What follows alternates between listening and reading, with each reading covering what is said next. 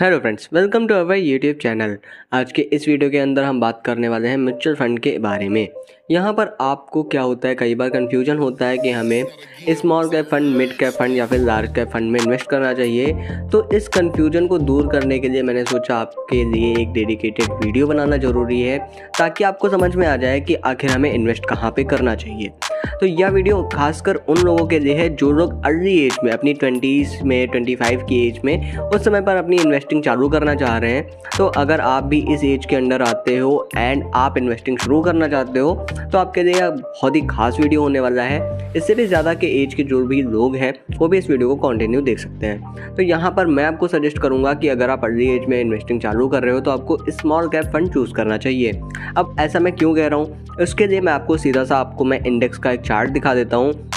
जहाँ पर आप यहाँ पर ये पूरा का पूरा चार्ट देख सकते हो कि किस ग्रोथ से यहाँ पर जो Nifty small cap two hundred and fifty का इंडेक्स चार्ट है, वो ग्रो हुआ है। इसी के अलावा अगर हम बात करते हैं आपको एक एवरेज रिटर्न की तो आपको ही पता होगा कि जो एवरेज रिटर्न है, अगर आपको 15 परसेंट कंपाउंडेंट इंटरेस्ट मिलता है कंपाउंडेंट रिटर्न मिलता है तो वो आपके लिए काफ़ी ज़्यादा अच्छा माना जाता है। बट अगर हम बात करते हैं स्मॉल कैप म्यूचुअल फंड्स की तो यहाँ पर अगर आप अच्छे म्यूचुअल फंड चूज़ करते हो तो आपको एवरेज रिटर्न ट्वेंटी परसेंट के आसपास का मिल सकता है। ये मैं पास्ट डाटा देख बता सकता हूँ, क्योंकि फ्यूचर किसी ने भी नहीं देखा है। अब हम बात करते हैं आपके लिए कौन सा ऐसा म्यूचुअल फंड होने वाला है जहाँ पर आपको अच्छे रिटर्न मिल सकते हैं। तो यहाँ पर मैं बात करने वाला हूँ U T I small cap fund के बारे में। यहाँ पर मैं आपको पूरा का पूरा डाटा दिखाने वाला हूँ एंड आपको भी अगर इसमें इन्वेस्ट करना है तो आपको पूरा का पूरा डाटा एनालिसिस अपने आप करना पड़ेगा। उसके बाद ही आप इन्वेस्ट करिएगा। यहाँ पर मैं बात करता हूँ अगर इसके रिटर्न की तो ऑल टाइम डाटा में आप देखोगे 27 परसेंट के रिटर्न देखने को मिल रहे हैं। मतलब 27 परसेंट के रिटर्न काफ़ी ज़्यादा अच्छे हो जाते हैं।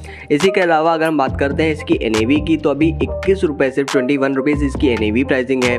रेटिंग इसको थ्री स्टार मिली हुई है। मिनिमम एसआईपी आप करना चाहते हो तो पाँच सौ से शुरू कर सकते हो।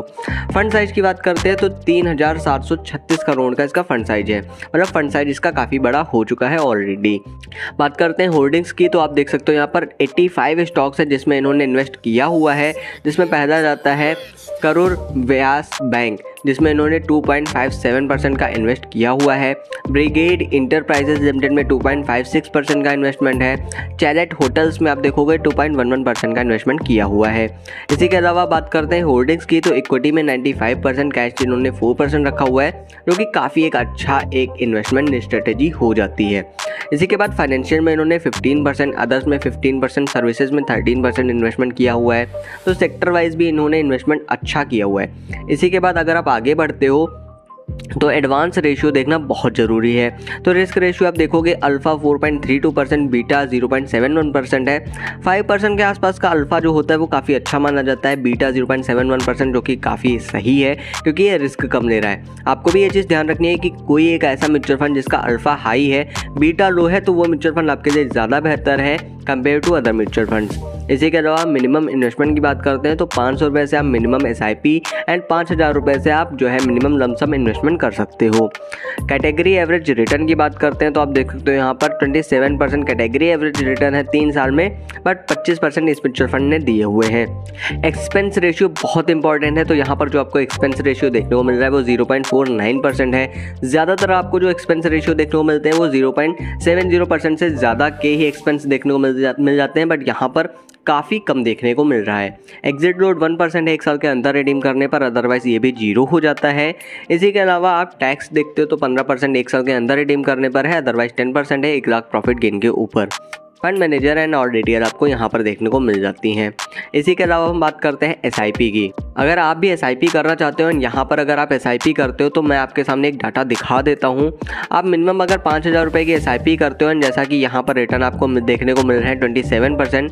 मैं ट्वेंटी सिक्स परसेंट के भी रिटर्न लेकर चलता हूँ एंड यहाँ पर मैं टाइम पीरियड बीस साल लेकर चलता हूँ। तो आप देख सकते हो यहाँ पर कि बारह लाख रुपये आप इन्वेस्ट करते हो जिसकी वैल्यू चार करोड़ निकल कर आती है। बट अगर आप एस आई पी पाँच हज़ार रुपये की नहीं करते हो मिनिमम पाँच सौ रुपए की जो एसआईपी आप वही चालू करते हो। तो आप देखोगे कि एक लाख बीस हज़ार रुपये आप टोटल इन्वेस्ट कर रहे हो बीस सालों में, जिसकी वैल्यू चालीस लाख हो जाती है। एंड अगर आप पाँच हज़ार रुपये की करोगे तो आपकी वैल्यू चार करोड़ हो जाएगी आने वाले बीस सालों में। अगर आपको सेम रिटर्न देखने को मिलते हैं, तब के लिए मैं बता रहा हूँ अदरवाइज़ इसका रिटर्न कुछ भी हो सकता है। बट यहाँ पर अगर आपको इस म्यूचुअल फंड के अंदर इन्वेस्ट करना हो तो आप आराम से कर सकते हो बट उससे पहले आपको अपनी एनालिसिस ज़रूर करनी चाहिए। यहाँ पर आपको हर एक चीज़ जो कि अच्छी देखने को मिल रही है ऑलरेडी ये फंड अभी बहुत ज़्यादा पुराना नहीं है, नया है। एंड आपको ये पता है कि एक अच्छे फंड में आप जब स्टार्टिंग टाइम में ही इन्वेस्ट करते हो, तब आपको ज़्यादा प्रॉफिट होता है। उम्मीद करूँगा मेरा यह वीडियो आपको पसंद आएगा। मेरा यह वीडियो कैसा लगा, हमें कमेंट बॉक्स में ज़रूर बताएँ। इसी तरह के इंटरेस्टिंग वीडियोज़ देखने के लिए हमारे चैनल को सब्सक्राइब करें। धन्यवाद दोस्तों।